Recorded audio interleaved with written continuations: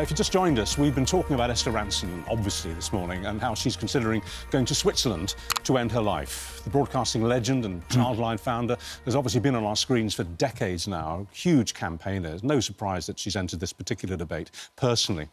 And she was at the heart of one of the greatest moments in television history. Many people say this is their favourite television moment of all time.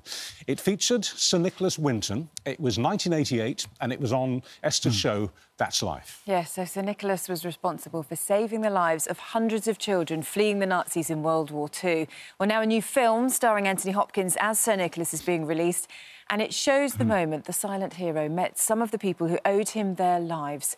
Well, I'm really pleased to say that joining us now is Sir Nicholas's son, Nick Winton, and one of the children who he saved, the Reverend John Fieldsend. Welcome to you both. It's Good morning. Thank see you. Good morning. Good, good morning.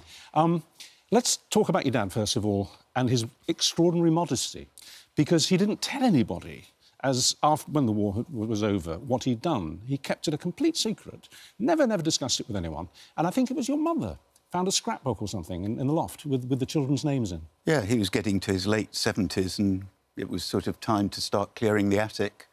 And Mum said, you know, we've got to find a place for this. And so we were asked, does anybody know somebody who might be interested? and uh, through a long series of connections, it ended up with a Holocaust researcher called uh, Betty Maxwell. Right.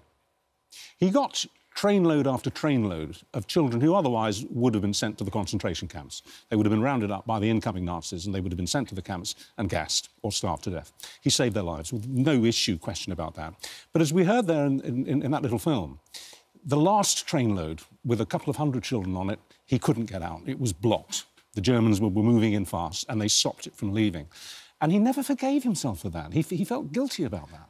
Well, there, there are a couple of things, Richard. The first is um, he didn't do it single handedly.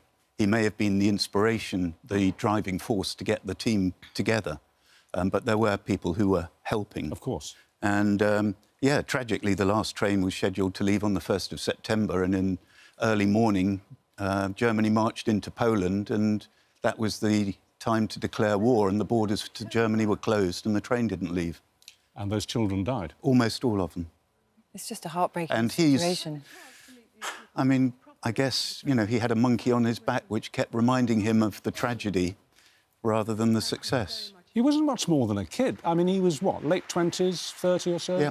He was a, he was a mm. Hampstead stockbroker.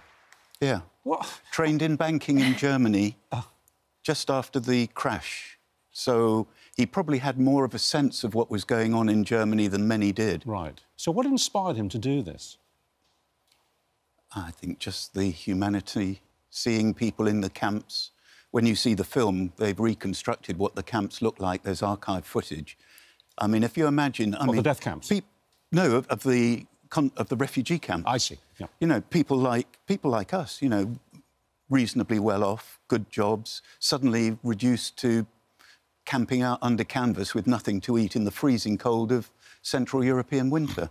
I mean, everybody who saw it would be moved. It's just, it is an incredible story what happened. And John, you were one of those children that Yes, I was. he saved. You must be eternally grateful to him.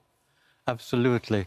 And incidentally, um, about that train that didn't leave, um, Esther Rantzen asked me to have a word with uh, Nicky uh, about that, and uh, we did have off camera. We What did did, have a what did you say to him about it? I, I just endeavoured to Reassure him. real, realize it, it wasn't his responsibility, and that um, he shouldn't bear the, the sense of guilt for that. You were seven. I was. Do you remember seven. it? I rem- remember it very clearly. What happened to you? Well, my journey was, um, I think, bit unique. We were living on the uh, Czech-Slovak-Polish border in Vitkov, and probably, I'm uh, guessing a little bit here, it was too far to go to Prague. Right. So my parents, I think probably with the Jewish Refugee Committee, got me to a school in Hanover, in Germany. It had been a horticultural college. It was now a centre for unaccompanied children. Right. And uh, we were there for some weeks, my brother and I. And uh, then uh, Nicky actually diverted one of his trains to pick my brother and me up In Hanover. in Hanover. That's the first time we joined the Winton uh, And who, trains. when you eventually got, I mean, by the skin of your teeth, Hmm. when you eventually got here to the UK, thanks to him, who looked after you? I went to um, a family in Sheffield, or ordinary coal mining family. My foster parents were. Um, my foster father was under manager of a colliery in Sheffield, where the big shopping centre is now. And how did you settle in? Uh, settled in fairly well. They were a beautiful family, There must have been. but uh, pretty strict. and they wanted me to learn English pretty quickly. So uh, the, the thing was this if I didn't ask in English, I went hungry. if I asked for kartoffeln, I went hungry until I asked for potatoes. If I asked for erdberg, I went hungry until I asked for strawberries. And what happened to your brother? Was your brother with you or did he go somewhere else? Uh, my brother was with me just for a few weeks, then he went to a separate home, also in Sheffield. right. And listen, a film has now been made of